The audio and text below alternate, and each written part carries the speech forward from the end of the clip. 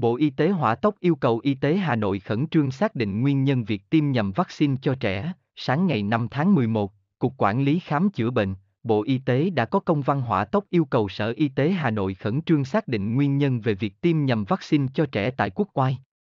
Liên quan đến sự việc tiêm nhầm vaccine tại huyện Quốc Oai, thành phố Hà Nội, ngày 5 tháng 11, Cục Quản lý Khám chữa bệnh, Bộ Y tế đã có công văn hỏa tốc số 1403, KCB nguyện vọng gửi Sở Y tế Hà Nội, văn bản hỏa tốc của Bộ Y tế cho biết ngày 4 tháng 11 năm 2021 trên các phương tiện truyền thông có đưa tin về việc 18 trẻ 2, 6 tháng tuổi ở Hà Nội bị tiêm nhầm vaccine phòng COVID-19. Nội dung phản ánh sự việc ngày 3 tháng 11 năm 2021 trong quá trình tiêm chủng đã xảy ra sự cố tiêm nhầm vaccine Comirnaty ngừa COVID. 19 của hãng Pfizer-BioNTech cho 18 trẻ từ 2, 6 tháng tuổi tại trạm y tế xã Yên Sơn, huyện Quốc Oai, Hà Nội. Cục trưởng Cục Quản lý Khám, chữa bệnh đề nghị Sở Y tế Hà Nội thực hiện một số nội dung sau, khẩn trương chỉ đạo Bệnh viện Sanh Pôn tập trung theo dõi sức khỏe các trẻ em gặp sự cố tiêm chủng. Tổ chức xác minh sự việc nêu trên, kiểm tra xác định nguyên nhân dẫn tới sai sót và xác định rõ trách nhiệm của tập thể, cá nhân liên quan và xử lý theo quy định.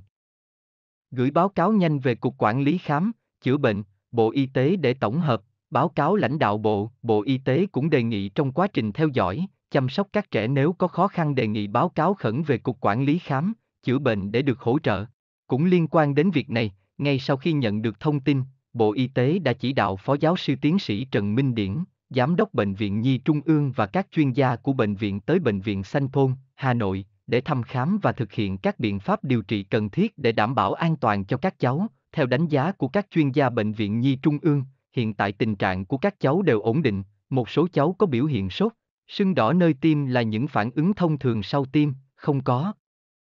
Trường hợp nào sốc phản vệ, tối ngày 4 tháng 11, Bộ trưởng Bộ Y tế Nguyễn Thanh Long đã tới Bệnh viện Sanh Pôn thăm các cháu và chỉ đạo các chuyên gia đầu ngành trong các lĩnh vực tiếp tục hỗ trợ tối đa Hà Nội để chăm sóc và điều trị các cháu.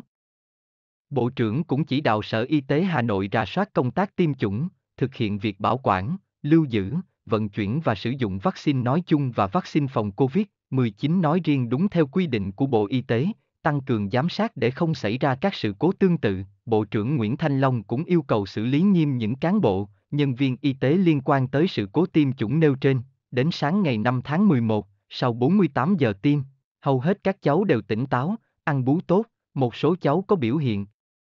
sốt, quấy khóc, kém ăn đã đỡ.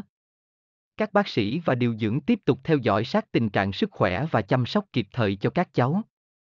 hỗ trợ tư vấn cho các bậc phụ huynh.